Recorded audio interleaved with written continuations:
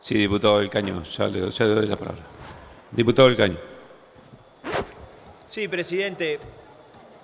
Como intentábamos decirle recién en la reunión de presidente de bloque, no se puede continuar, no se puede continuar con la sesión.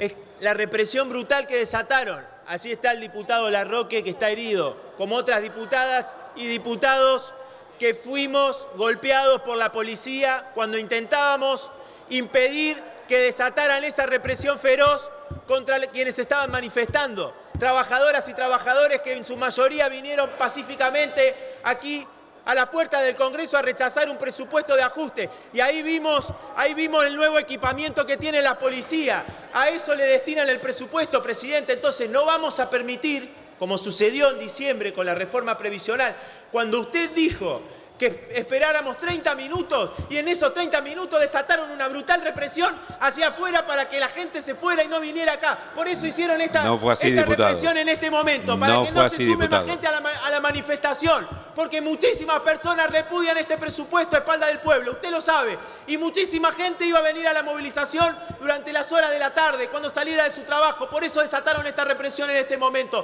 porque le temen a la movilización. Entonces, nosotros no vamos a ser cómplices, no vamos a sesionar bajo estas condiciones de represión brutal a nuestro pueblo y le planteamos a todas las diputadas y diputados de la oposición que nos retiremos hasta que termine esta represión. Gracias, presidente. Bien.